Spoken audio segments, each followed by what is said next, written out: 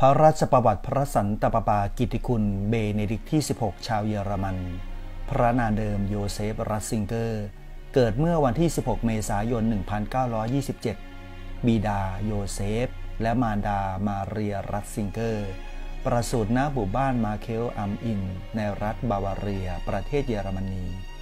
ทรงมีพี่น้องสองคน พี่ชายคนโตชื่อเกิร์ตรัสซิงเกอร์ ได้บวชเป็นบาทหลวงเช่นเดียวกับพระองค์ อีกคนหนึ่งเป็นหญิงชื่อมาเรีย พระองค์ทรงเข้าสามเณรลาลัยในเมืองทราวสไตน์เมื่อปี 1939 ปี 1941 พระองค์ทรงเข้าร่วมเป็นสมาชิกของหน่วยยุวชนฮิตเลอร์ ระหว่างสงครามโลกครั้งที่สองซึ่งเด็กชายทุกคนจะต้องเข้าร่วม ถูกเกณฑ์เข้าไปเป็นพลปืนต่อต้านอากาศยาน มีหน้าที่ดูแลเครื่องบิน ประจำที่ศูนย์สื่อสารทางโทรศัพท์ มีหน้าที่ติดตั้งอุปกรณ์ไว้ป้องกันกองทัพรถถังโซเวียต และสุดท้ายได้เป็นทหารราบ แต่ไม่เคยต้องออกไปอย่างแนวหน้า ในเดือนเมษายน 1945 ก่อนหน้านาซีจะยอมแพ้ไม่นาน พระองค์ก็หนีทัพและกลับไปยังหมู่บ้านของพระองค์ แต่ภายหลังสงคราม พระองค์ถูกจับในฐานะเฉลย เนื่องจากฝ่ายสัมพันธมิตรสรุปว่าพระองค์เป็นทหาร พระองค์ต้องเข้าค่ายกักกันเฉลยศึก พระองค์ออกจากค่ายเมื่อวันที่ 20 มิถุนายน 1945 พระองค์ได้เริ่มด้วยเดินเท้าเป็นระยะทาง 120 กิโลเมตร เพื่อกลับไปยังหมู่บ้านของตน แต่ได้รับความช่วยเหลือจากรถส่งนมที่พาพระองค์ไปส่งที่เมืองทราวสไตน์เมื่อพระองค์กลับถึงบ้านก็ได้พบกับพี่ชาย ซึ่งได้รับการปล่อยตัวมาจากค่ายเชลยศึกในประเทศอิตาลีเช่นเดียวกัน ในปี 1945 พระองค์ ได้เข้าศึกษาต่อที่สามเณราลัยแห่งหนึ่งในเมืองไฟรซิง หลังจากนั้นก็ไปศึกษาที่มหาวิทยาลัยลุกวิทมักซิมิเลียน ในเมืองมิวนิก ปี 1951 พระองค์ได้บวชเป็นบาทหลวง โดยมีพระคาร์ดินัลมีคาเอล ฟอนเฟลฮาร์เบอร์ Archbishop แห่งมิวนิก ในขณะนั้นเป็นผู้บวชสังฆานุกรให้ ในปี 1958 พระองค์ได้เป็นอาจารย์สอนที่วิทยาลัยไฟรซิง ต่อมาพระองค์เป็นอาจารย์สอนที่มหาวิทยาลัยอีกหลายแห่ง คือมหาวิทยาลัยบอน มหาวิทยาลัยมินสเตอร์ มหาวิทยาลัยทูบิงเกนและมหาวิทยาลัยเรเกนสบุกในปี 1972 พระองค์ได้ร่วมกับฮันส์เอิร์สวอนบัลทาซาร์อองรีเดอลูบัก และวอลเตอร์คาสเปอร์ก่อตั้งวารสารทางศาสนาขึ้นมา ชื่อว่า Communio ปัจจุบันวารสารนี้ตีพิมพ์ใน 17 ภาษา พระองค์ยังทรงเป็นผู้ที่เขียนบทความลงในวารสารนี้อีกด้วย ในเดือนมีนาคม 1977 พระองค์ได้รับการแต่งตั้งเป็น Archbishop แห่งมิวนิกและในเดือนมิถุนายนปีเดียวกัน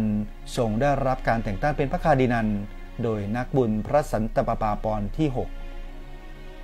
25 พฤศจิกายน 1981 นักบุญพระสันตะปาปายอนปอนที่2แต่งตั้งให้ท่านเป็นสมณมนตรีสมณกระทรวงพระสัจธรรม นอกจากนี้ยังทรงดำรงอีกหลายตำแหน่ง คือประธานคณะกรรมการพระคัมภีร์ คณะกรรมการเทววิทยาระดับนานาชาติในสันตสำนัก ผู้ประสานงานสมาชาบิชอปสากลครั้งที่ 5 ปี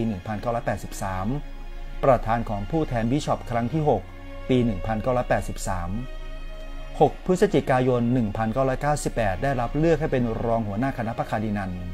30 พฤศจิกายน 2002 ได้รับเลือกให้เป็นหัวหน้าคณะพระคาดินัน ระหว่างปี 1986 ถึง 1992 เป็นประธานคณะกรรมการจัดทำหนังสือคำสอนพระศาสนาจากคาทอลิก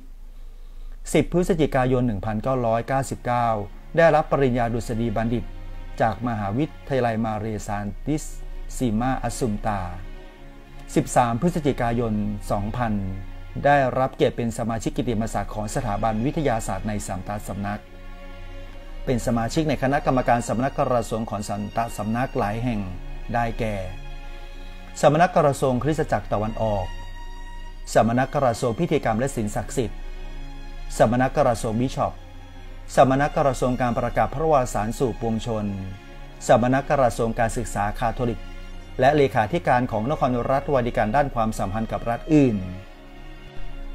หลังจากนบุญพระสันตะปบายอนปอนที่สองสิ้นพระชน เมื่อวันที่ 2 เมษายน 2005พพระองค์ทรงได้รับเลือกเป็นพระสันตะปาปาเมื่อวันที่ 19 เมษายน 2005 เมื่อมีพระชนมายุ 78 พรรษา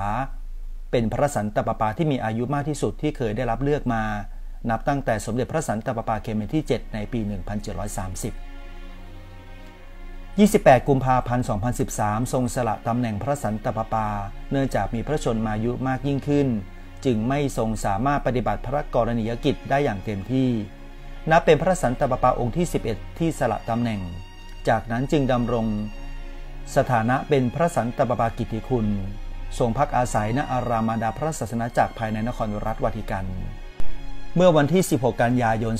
2020 พระสันตะปาปากิติคุณเบเนดิกที่ 16 ทรงเป็นพระสันตะปาปาที่มีพระชนมายุยืนที่สุด ในประวัติศาสตร์ แสงหน้าพระสันตะปาปาลีโอที่ 13 ที่สิ้นพระชนเมื่อปี 1903 ด้วยพระชนมายุ 93 ปี พระสันตะปาปากิติคุณเบเดดิที่ 16 เสด็จสวรรคตเมื่อวันเสาร์ที่ 31 ธันวาคม 2022 เวลา 9นาฬิกา34 นาที ด้วยอาการชราภาพ มีพระชนมายุ 95พรรษา การเคารพพระศพของพระองค์จัดที่มีขึ้นระหว่างวันจันทร์ที่ 2 ถึงวันพุธที่ 4 มกราคม เป็นระยะเวลา 3 วัน ณพระมหาวิหารดบุญเปโต นครรัฐวาติกัน โดยพิธีปงศพได้จัดที่มีขึ้นในวันพฤหัสบดีที่ 5 มกราคม เวลา9นาฬิกา30 นาที โดยพระสันตะปาปาฟรังซิสเป็นประธานในพิธี